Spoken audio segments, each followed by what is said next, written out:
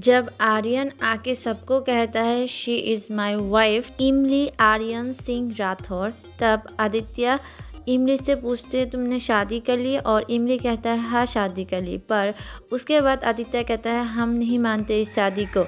ये शादी नकली है। आदित्य पूरी इनकार कर देता है कि ये शादी नकली है। हम कह रहे हैं, माँ, ये शादी नकली है। तो असली में ये शादी नकली होता है क्योंकि आर्यन और इमली सिर्फ़ शादी की नाटक कर रहा था। पर अपकमिंग एपिसोड में आदित्य की जिद की वजह से आदित्य को यकीन दिलाने के लिए इमली और आर्यन सबके सामने शादी करेगा और पूरी रीति रिवाज के साथ पूरी धूमधाम से इमली बनेगी मिस आर्यन सिंह राठौर। इमली और आर्यन की इस नकली शादी को देख के भी दिल को सुकून मिल गई है तो तो किस किस को मेरे जैसा सेम फीलिंग आई है इमली और आर्यन की शादी को देख के वो कमेंट सेक्शन में ज़रूर बताइएगा और ऐसे अपडेट के लिए प्लीज़ मेरे चैनल को सब्सक्राइब कर लीजिए। Thanks for watching